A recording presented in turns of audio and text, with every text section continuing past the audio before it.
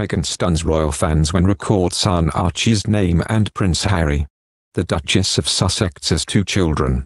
The Duchess of Sussex has spoken out about the inspiration behind her son Archie's name and she has set the record straight. In the latest episode of Meghan's podcast Archetypes, she was speaking with Mindy Kaling about childhood.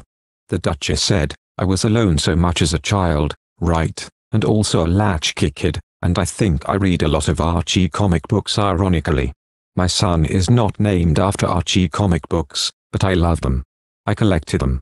Prince Harry and his wife welcomed baby Archie into the world in 2019, and his full name is Archie Harrison Mountbatten Windsor.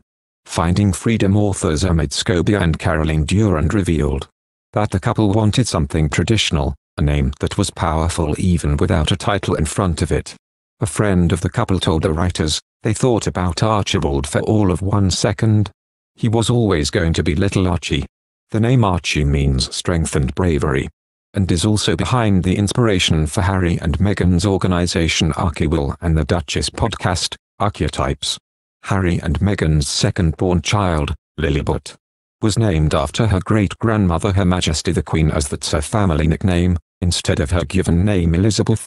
The official birth announcement statement read, It is with great joy that Prince Harry and Meghan, the Duke and Duchess of Sussex, welcome their daughter, Lilibet Lily Diana Mountbatten Windsor, to the world. Explaining their choice of name, they added, Lily is named after her great-grandmother, Her Majesty the Queen, whose family nickname is Lilibet. Her middle name, Diana, was chosen to honor her beloved late grandmother, the Princess of Wales. Meghan has given a candid insight into her childhood in the latest episode of her podcast, Archetypes. In the third installment, the Duchess sat down with Mindy Kaling to discuss the star's decision to have two children on her own title The Stigma of the Singleton.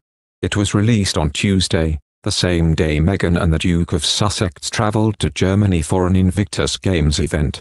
And a day after the Duchess addressed delegates at the One Young World Summit in Manchester on Monday.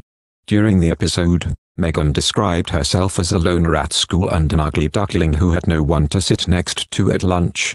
The former Suits actress admitted it was really hard and that she was the smart one forever. And ever and ever rather than the pretty one during her time at Immaculate Heart All Girls Catholic School in Los Angeles. At one point in the conversation, Mindy asked Meghan, were you not the pretty one growing up? Meghan replied, no. Oh God, no. What? That is news to me, Mindy said in response. The Duchess explained, ugly duckling. Yeah no, maybe not conventional beauty. Now maybe that would be seen as beautiful, but massive, frizzy, curly hair and a huge gap in my teeth. I was the smart one forever and ever and ever and ever, and then just sort of grew up. She added, I never had anyone to sit with at lunch. I was always a little bit of a loner and really shy, and didn't know where I fit in.